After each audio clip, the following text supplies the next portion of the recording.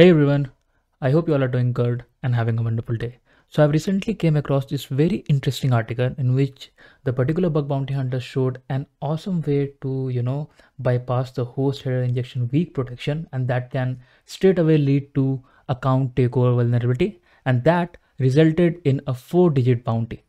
So in this video, we'll try to cover that particular vulnerability, how he was able to bypass that. Also, we'll try to see that why exactly this happens. And then we'll try to understand that how, you know, uh, we can find this in real world applications. We're going to see everything through a practical demonstration.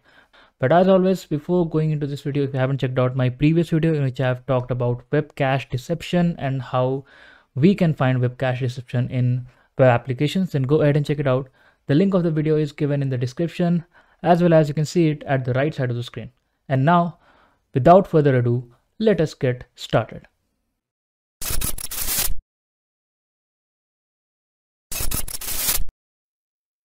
Now, let us go ahead and try to understand about this vulnerability in depth.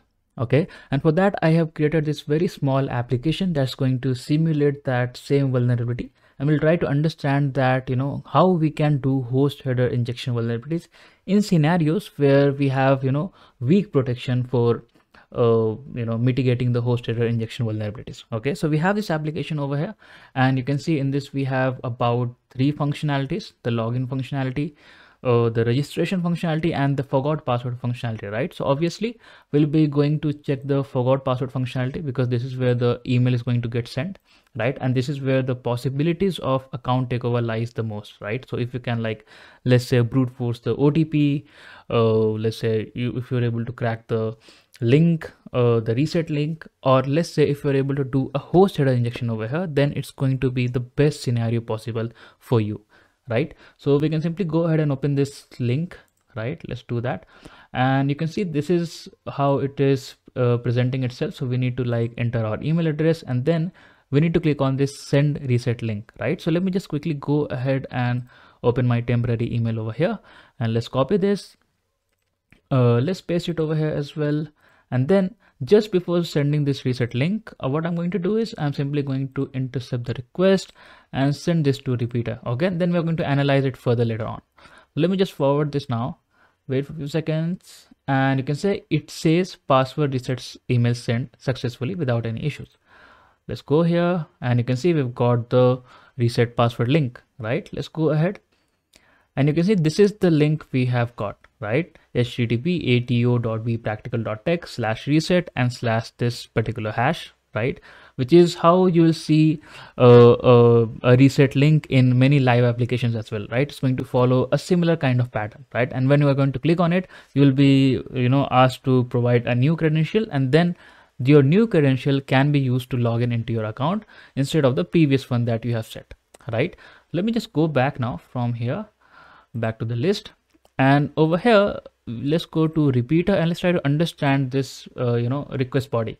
So if you take a closer look you can see the host header is set to ato.bpractical.tech which was the exact you know host present in the link right? Like if we go to the link uh let me just click on view here show you guys again. You can see it is ato.bpractical.tech so now this should alert you that you know you should think that okay there is a possibility that maybe they're using this host header value to you know generate the link which can be a bad implementation right? Why? Because you know the attacker can provide their own host header inside this value and if it's is going to be replaced by uh, the actual value it can be quite dangerous right? So what i'm going to do is to verify my my theory i'm simply going to remove ato and i'm going to you know use any other subdomains of bpractical.tech like for example let's say uh, testing 123 just for this example. And then we're going to see whether this value is also going to reflect in the link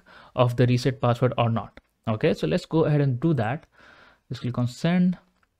And you can see again it says password reset email send. Let's go to a browser here. Let's go back. And let's wait for a few seconds.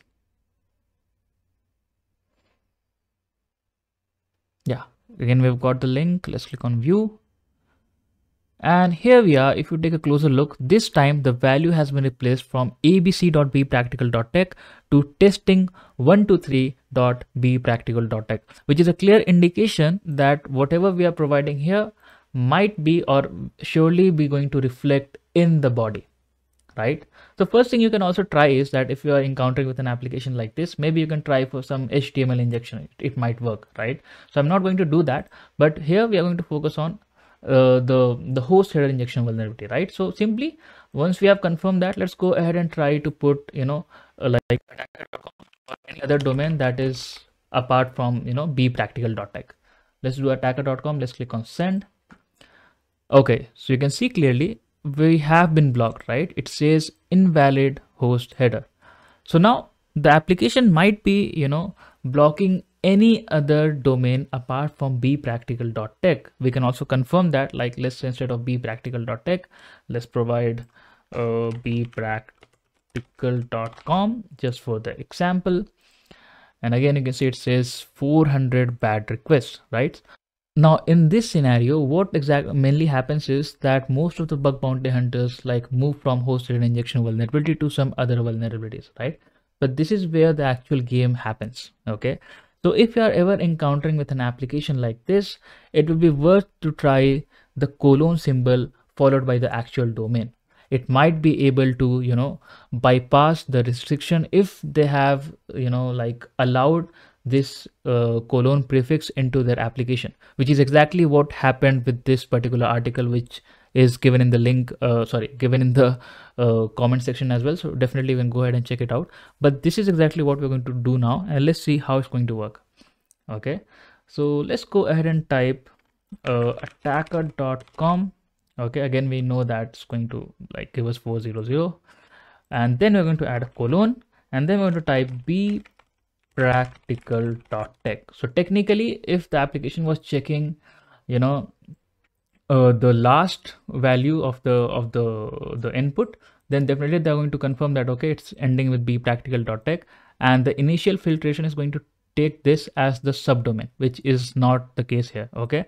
And if they have added some prefix like this uh, which is going to omit or eliminate this value we will be able to do something really crazy okay? So let's click on send request and let's see what happens.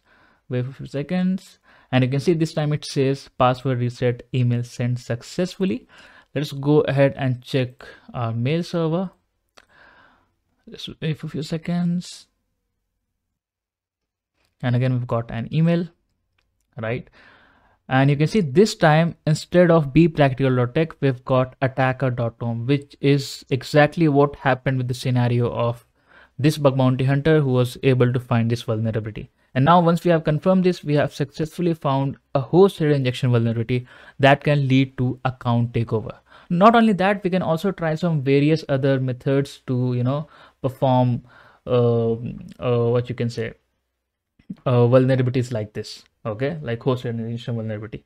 Like another example, what you can do is like uh, instead of bpractical.tech you can type something like test-bpractical.tech if the application was vulnerable you will be able to do that as well. Okay so you can see in this example as well the password reset has been set however it is important to note note that this is a complete different domain right? Let me just show you.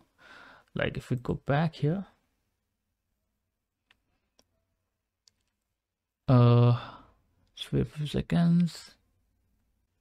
Yeah again you can see we've got a different target. Test dash b practical.tech is a different domain from bpractical.tech. So again, it will be considered as a valid host header injection vulnerabilities, right? So these are some of the ways that you can use to, you know, bypass weak host header injection, you know, protection mechanism and can lead that can lead to, you know, account takeover vulnerabilities. I hope you are able to understand how we can do this. If you have any doubts, if you have any issues, feel free to let me know your doubts or issues in the comment section. Also, if you want to read more about this article by this awesome bug bounty hunter, then go ahead and check it out. The link of that article is also given in the pinned comment. So definitely feel free to check it out. You'll be able to understand everything in, you know, in a better way, as well as you'll be, you'll be able to understand what exactly caused this issue from the teams or from the developer side, right? And now with that being said, keep learning keep hacking and thank you so much for watching this video